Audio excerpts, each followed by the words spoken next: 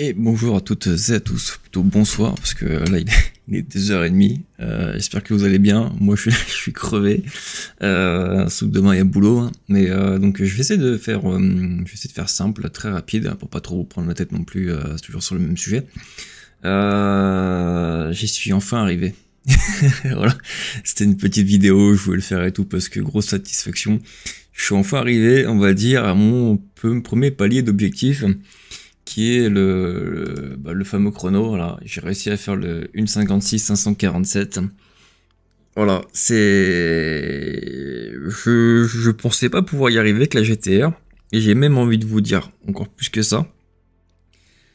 Après ce que je vais vous montrer en fait, et ce que je vais vous dire, j'ai même le feeling honnêtement de pouvoir aller chercher la, euh, la, la minute 55 euh, parce que j'ai encore fait des boulettes et en plus je suis pas satisfait en fait du setup, je suis pas encore à l'aise avec le setup que j'ai fait. Et autre chose aussi que je voulais euh, que je tenais à signaler, je sais pas si c'est effet placebo ou, ou j'en sais rien du tout, euh, mais il y a un viewer, en tout cas si c'est si c'est le cas, si c'est véridique, euh, un gros gros gros merci parce que je pense que ça va vachement jouer dans, dans la balance pour aller chercher ce chrono là. Euh, m'a expliqué qu'en fait si je voulais euh, du coup préparer la voiture et pour pouvoir faire du multi derrière, c'était de me mettre en fait en, en haut au niveau de, des paramètres ici quand je fais quand je suis sur entraînement en open series. Du coup, en Open Series, de ce qu'il m'a expliqué, c'est que ça prend en compte du coup tout ce qui est euh, balance of performance au niveau des, voitures et au niveau aussi des circuits, euh, que tout est mis à jour par rapport à ça. Et moi, en fait, par défaut, j'étais sur le, GT World Challenge 2019. Donc, je sais pas si effectivement, entre euh, ce qui est ici au niveau de, la mise à jour et ce que j'ai ici au niveau de la GTR et au niveau même du circuit euh, Nürburgring, je sais pas s'il y a vraiment une, grosse différence. Au niveau du circuit, honnêtement, j'ai pas senti une très grosse différence. Euh, au niveau de la voiture, par contre, encore une fois, je sais pas si c'est fait placebo, mais je l'ai trouvé un peu plus péchu parce que je sais qu'il y a certains passages, certains repères que j'ai où par exemple, euh, j'arrivais beaucoup plus rapidement, enfin beaucoup plus rapidement, enfin façon de dire, mais je sais que par exemple, j'arrivais plus rapidement en fait à mon shifter pour passer mon rapport, j'arrivais plus, je montais plus vite un peu dans mes tours, donc je la trouvais un peu plus péchu. Euh, donc je sais pas encore une fois si c'est placebo ou placebo. Et euh, du coup, bah, ce que je me suis dit euh, au final, c'est que si vraiment il y a vraiment ce cas-là que le, le, le balance of performance a changé, euh, bah, je vais partir d'une feuille vierge et je me suis mis du coup en mode en mode entraînement. Hein euh, 16 heures et tout, et euh, je me suis dit on part d'une feuille vierge, donc je suis reparti du mode euh, setup agressif, et j'ai essayé de préparer quelque chose à partir de setup agressif.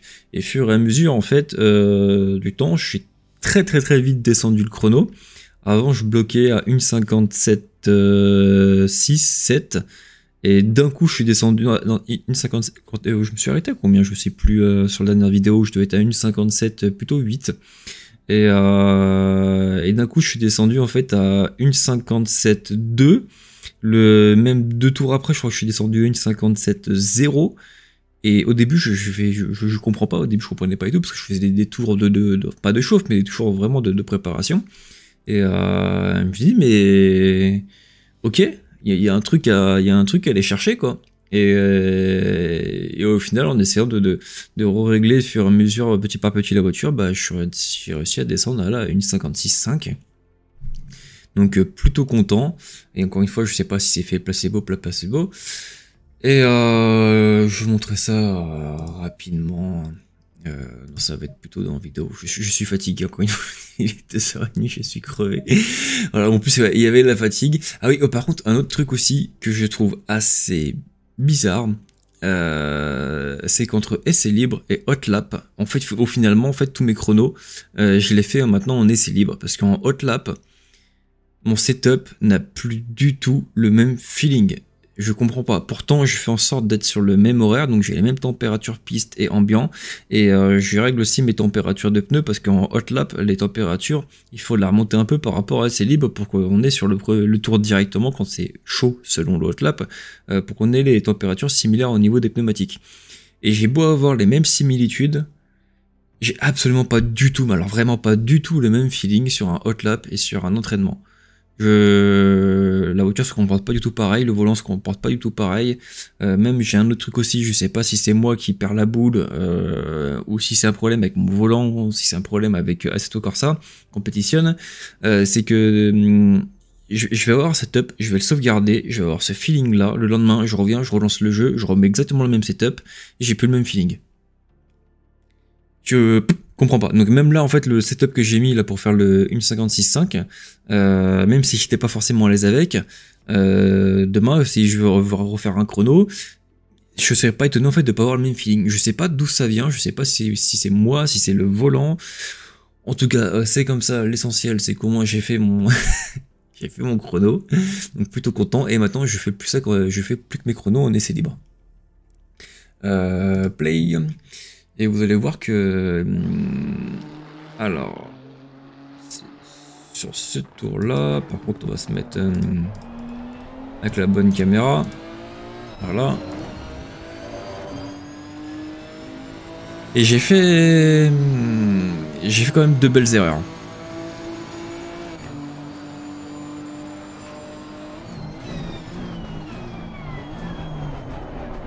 Alors pour le moment ça va.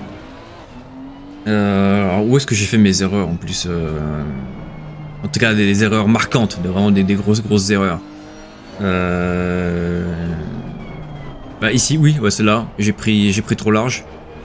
Ça, oui, il y avait ça déjà. ici, du coup, bah, je, l'ai mal pris ma trajectoire. Voilà. Ce sont cette chicane-là. Je m'améliore, mais c'est pas encore ça. Et voilà, et ici. Là, je monte sur le vibreur. Erreur, grosse erreur. Donc juste déjà ces, ces deux erreurs sur le T1. Euh, honnêtement, entre ça, la fatigue et le setup où je suis pas encore... Euh, parce fait j'ai j'ai l'arrière qui est un peu trop...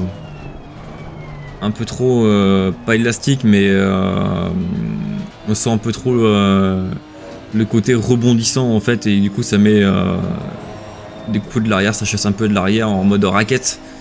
Donc j'ai ça à régler. Euh, j'ai pas encore touché au euh, à l'amortisseur.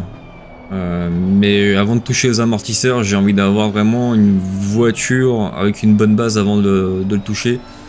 Parce que ouais, c'est un truc que, que je préfère. Je préfère toucher les amortisseurs à la fin et avoir une bonne base pour pouvoir le toucher. et ici, du coup, cette chicane là,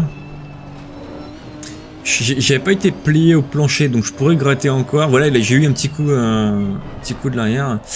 Et là, je mets un peu trop de temps ici avant de remettre les gaz. Donc ouais, le 1.55, je pense que je pense que j'ai moyen d'aller euh, d'aller le gratter. Donc euh, très très très très content, très très content de de ce chrono et que finalement de voir de bah, d'où j'ai commencé, d'où j'en suis. Donc euh, très satisfait de, cette, évolution, plutôt content.